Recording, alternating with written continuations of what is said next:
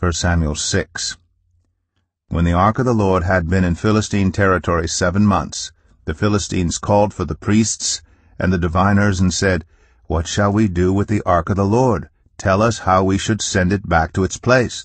They answered, If you return the ark of the God of Israel, do not send it back to him without a gift. By all means send a guilt offering to him.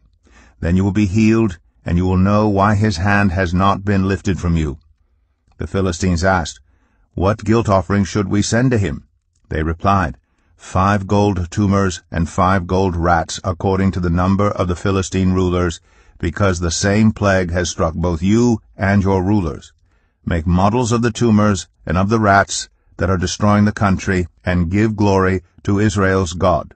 Perhaps he will lift his hand from you and your gods and your land. Why do you harden your hearts as the Egyptians and Pharaoh did? When Israel's God dealt harshly with them, did they not send the Israelites out so they could go on their way?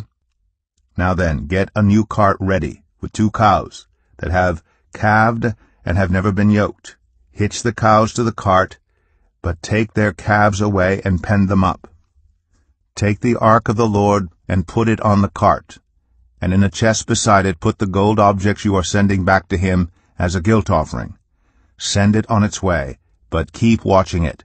If it goes up to its own territory toward Beth Shemesh, then the Lord has brought this great disaster on us. But if it does not, then we will know that it was not his hand that struck us, but that it happened to us by chance. So they did this.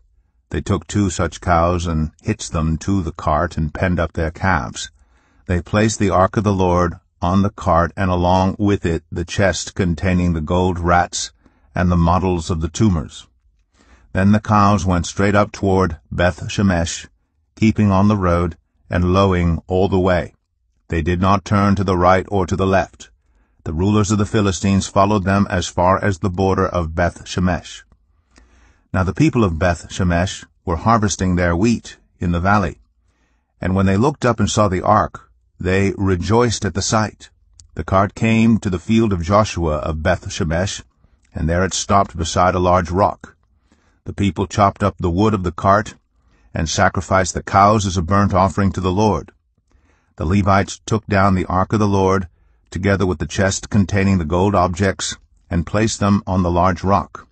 On that day the people of Beth Shemesh offered burnt offerings and made sacrifices to the Lord.